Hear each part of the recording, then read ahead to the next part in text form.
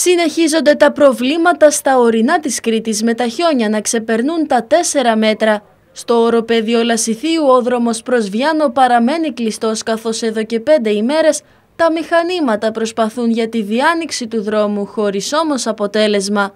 Προβλήματα εντοπίζονται και στις κεραίες καθώς δεν εκπέμπουν σήμα δύο εταιρείες κινητής τηλεφωνίας. Οι τεχνικοί δεν μπορούν να προσεγγίσουν την περιοχή λόγω της τεράστιας ποσότητας χιονιού στην κορυφή Άγιο Πνεύμα της Πλάτης όπου βρίσκονται οι κεραίες.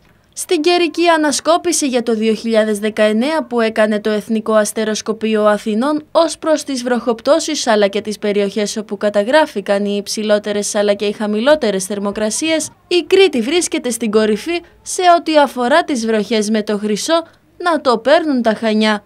Σε αντίθεση με τις προηγούμενες χρονιές, τα μεγαλύτερα ετήσια ύψη βροχόπτωσης πέρυσι εντοπίστηκαν στην Κρήτη, ιδίως στο νομό Χανίων, ενώ και η πόλη της Αθήνας βίωσε μία από τις πιο βροχερές χρονιές των τελευταίων 15 ετών.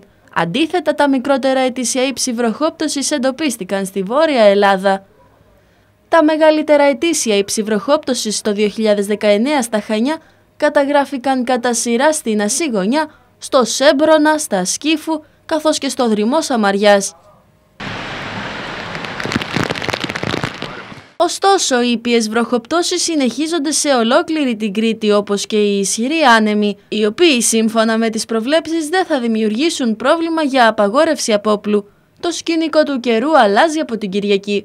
Έστω και κάποια ε, παροδική εμφάνιση του ήλιου θα, την, θα κάνει την εμφάνισή της γενικότερα στην Κρήτη. Οι άνεμοι θα διατηρήσουν τη βόρεια διεύθυνσή τους, αλλά σαν εντάσεις θα εξασθενήσουν λίγο και θα κυμαίνουν στα 4 με 5 μποφόρ ίσως τοπικά σε ανατολικές περιοχές του νησιού και στα πελάγη, ανατολικά βέβαια στο νοτιοανατολικό Αιγαίο μέχρι και τα 6 μποφόρ. Και η θερμοκρασία για αύριο το πρωί θα είναι σε χαμηλά επίπεδα, ιδιαίτερα στις ορεινές ζώνες θα τη δούμε κάτω από τους 5 βαθμούς, κοντά στους 0 βαθμούς Κελσίου. Παρ' όλα αυτά στις παράκτιες περιοχές θα κυμαίνεται κοντά στους 6 με 8 και οι μέγιστες τιμές θα διαμορφωθούν κοντά στους 12 με 14 βαθμούς Κελσίου. Την εμφάνισή τους θα κάνουν από τη Δευτέρα ξανά οι βροχοπτώσεις, ενώ αναμένεται και πτώση της θερμοκρασίας.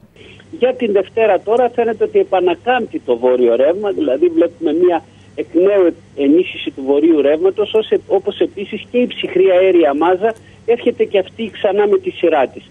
Έτσι θα δούμε και πάλι νεφώσεις να καλύπτουν ε, το, το νησί μας και να εμφανίζονται και πάλι κάποιες βροχές πάλι όμως με ένα ήπιο χαρακτήρα, ε, ίσως έχουν και πάλι διάρκεια, αλλά θα έχουν γενικά ήπιο χαρακτήρα στην ένταση, αν και λιγότερες μπορεί να είναι βέβαια στις νότιες περιοχές. Και οι χιονοπτώσεις και πάλι θα τις δούμε να εμφανίζονται σε μεγάλα όμως υψόμετρα, επαναλαμβάνω ως επιτοπλίστων πάνω από τα 1200 με 1500 μέτρα.